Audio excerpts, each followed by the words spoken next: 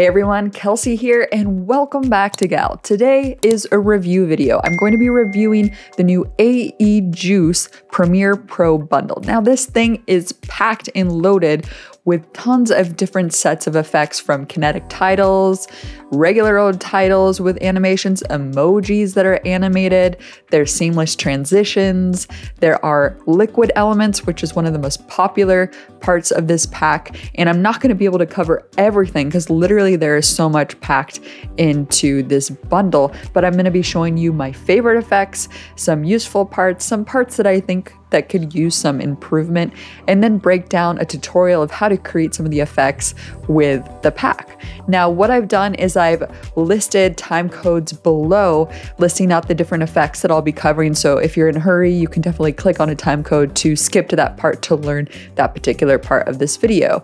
And of course, a few more things to mention. AE Juice is sponsoring this video. They set you guys up with a 10% off discount code. So use my code GAL10 to get 10% off. And if you're not ready to purchase yet, there's also a free version. It's called the just starter pack. It is inside of the AE Juice panel. When you download it for After Effects and Premiere Pro, you can just install the starter pack as well as some sound effects that you can play around with until you feel like, oh, maybe I want to invest in this giant bundle that's going to make it so much easier to create with. So consider that.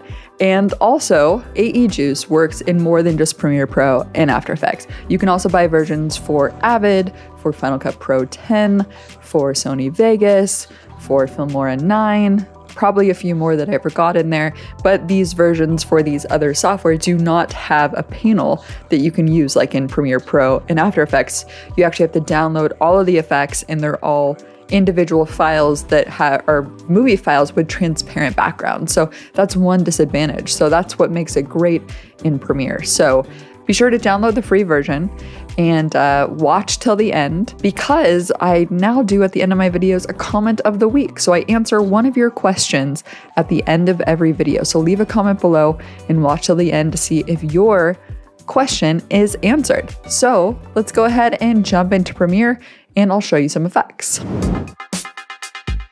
The first thing to do is download the AE Juice Pack Manager.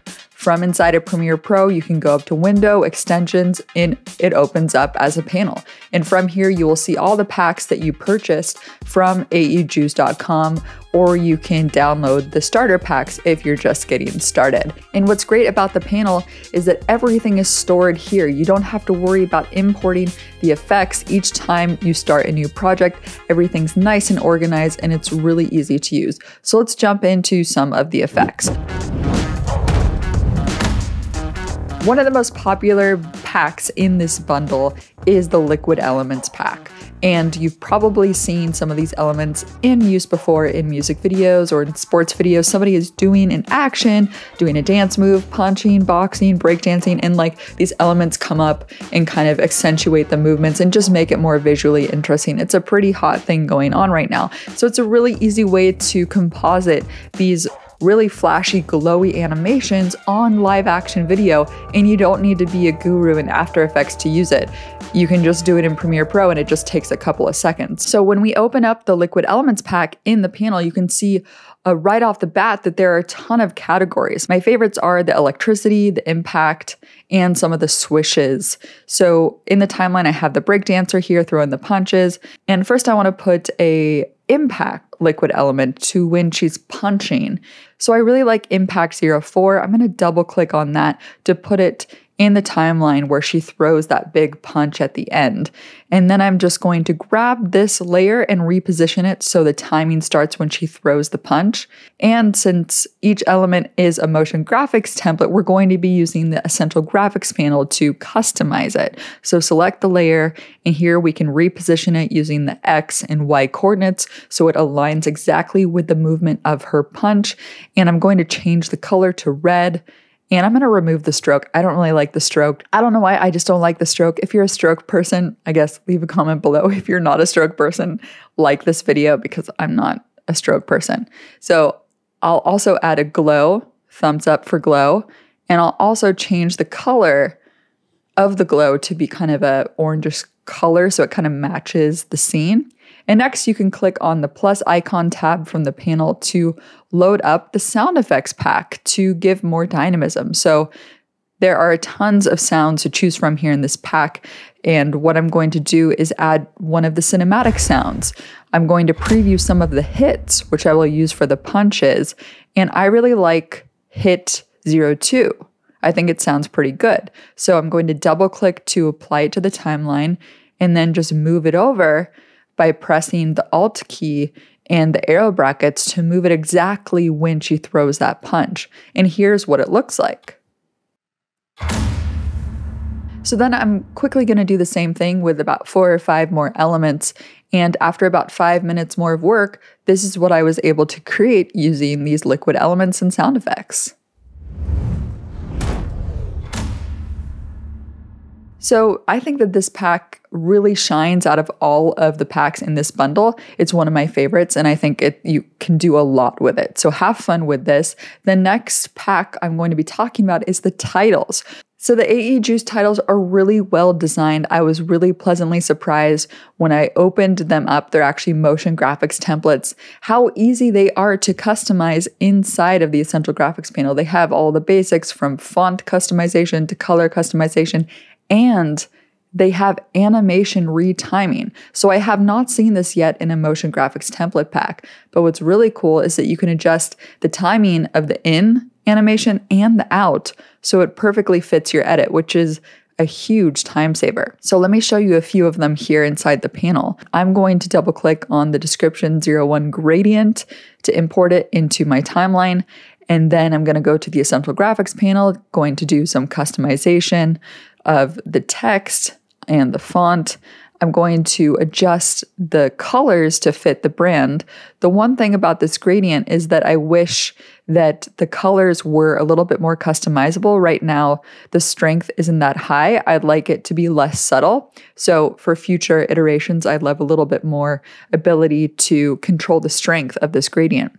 But the best part here is at the bottom with customizing the in and out animation. So if you want the in animation to be two seconds, you have it start at zero and you go to two seconds. And then if you want it to start animating out at six seconds, you would just have the start be six and the out at eight. And then the full animation, you know, ends at exactly eight seconds. So that's really, really cool. And I think that you guys would find this useful. It's there for all of the title animations to use. So, definitely, if you're interested in good design titles, get this pack, if not the whole bundle. So, now let's move on to the shape elements. If you open up the shape elements pack, you will see there are a ton of different shapes to choose from, all that you can overlay as transparent backgrounds on your video for whatever needs. It can be just like a pop, a box, a star, anything you need to overlay on your video. And one that I use a lot in my tutorials are arrows to point at different things or circles to, to call out different areas of the screen. So I'm going to open up the arrow category here and you can see that there's a few different arrows to choose from. And I'm just going to click on this arrow here and you'll notice when it's imported in the timeline, it's actually a movie file, not a MOGRT. So in order to change the color, we're not going to go to the Essential Graphics panel. We're going to go to Effects and search for an effect called Change to Color.